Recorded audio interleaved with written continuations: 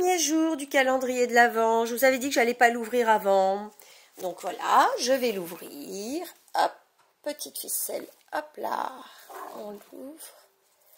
Ouh, qu'il est beau Case numéro 1, elle se trouve là. Donc on va la prendre, la voilà. Et vous avez déjà vu d'autres vidéos, donc je pense que vous savez plus ou moins comment ça se passe. On vous dit c'est à base de quoi, le prix? On vous dit les ingrédients. On vous dit également la fabrication, non, là c'est les ingrédients, là c'est le mode d'emploi. Les ingrédients, la valeur, euh, la notation globale, voilà.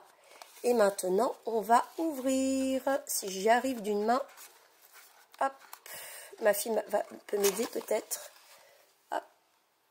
Alors, on va ouvrir. Et qu'est-ce qu'il y a dedans? Oh, c'est un petit produit.